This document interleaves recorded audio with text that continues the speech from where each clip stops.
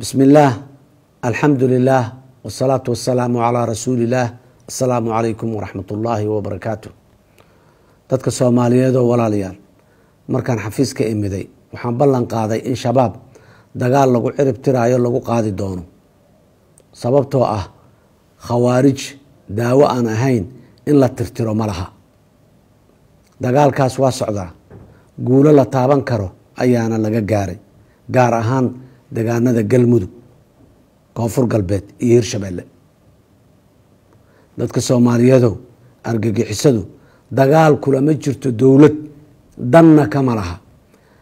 Waxaa mabda u ah cabsigelinta bahdilka iyo gumaadka shacabka oo ay u dheer tahay boobka hantidooda iyo cunaqabateynta abriyada gargaarka u baahan.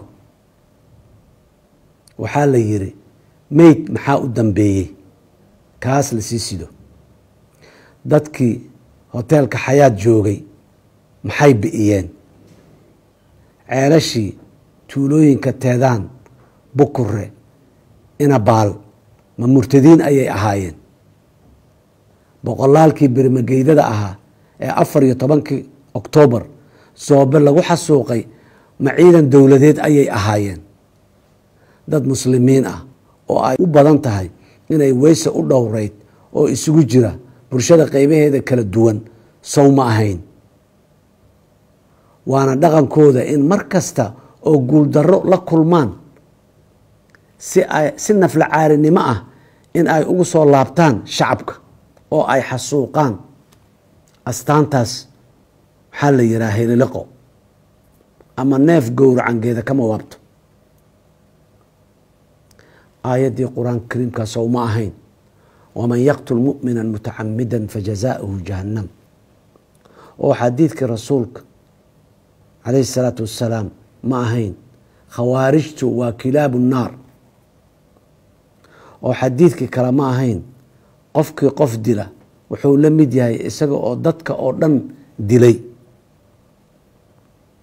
Dadka soomaaliyeedow walaalayaal dadka ilaahay iyo rasuulkiisa suubanaay saas ku sifeeyeen. Cudurdaar ma leedahay in loo cadaalad doonto. In dhaqaalo la siiyo. In guri laga kireeyo. In la qariyo ama la dhuumiyo. Isaga oo dhagar maleegaya. Ma aha inay diin laawayaal yihiin oo keliya. Ee waa mas dilaa ah oo marada kugu jira mas dilaa ahna xalkiisu waa dil. Intii usan ku dilin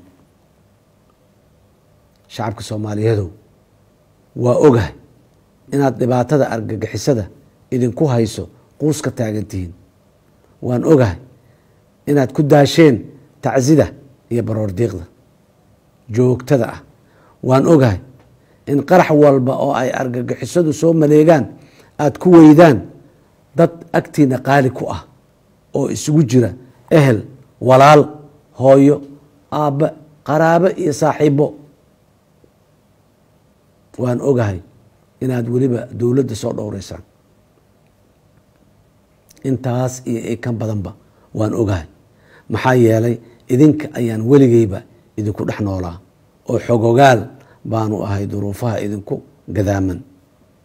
Hase yeeshee waa hubaal soomaaliya waa ay ka guuleysanaysaa cadowga gardarada ku haya dalkeeda dadkeeda iyo diintoodaba. Dowladdeenna ciidankeenna iyo shacabkeennuba isdhiibi maayaan. Isdhiibi maayaan. Ilaa laga helayo dal soomaaliyeed argagixisada ka caagan cadaalad iyo nabad ka jirto oo barwaaqaysan ilaahay idankiisa in yoolkaas aanu gaarna waxay u baahan tahay adkaysi nafuranimo geesinimo iyo ka go-naan.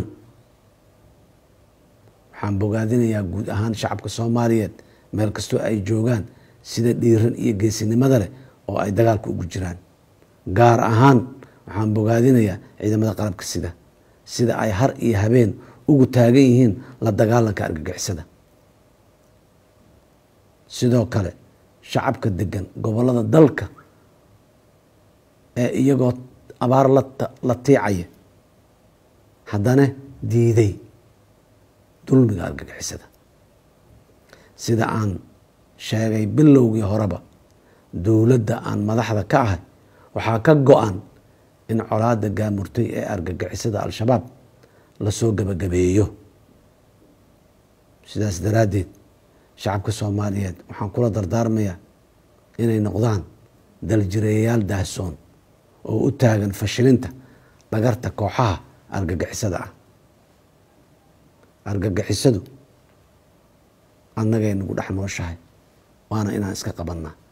Isbedel waa inaan ka keennaa sida aan argagixisada ula dhaqmaynaa aada iyo aadaa umahadsantihiin wasalaamu calaykum waraxmat ullaahi wabarakaatu